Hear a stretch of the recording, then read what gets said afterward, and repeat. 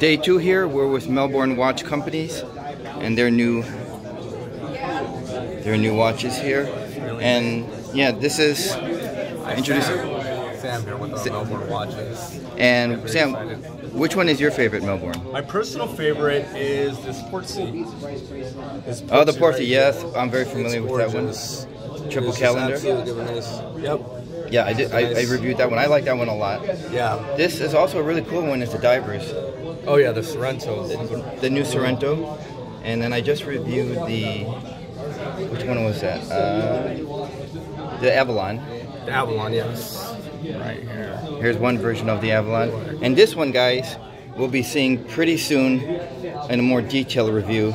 But Melbourne Watch Company is here, and they're they're doing a nice job, drawing a nice crowd. So day two with Melbourne Watch Company. Thanks, Sam. Very excited to be here. Thanks.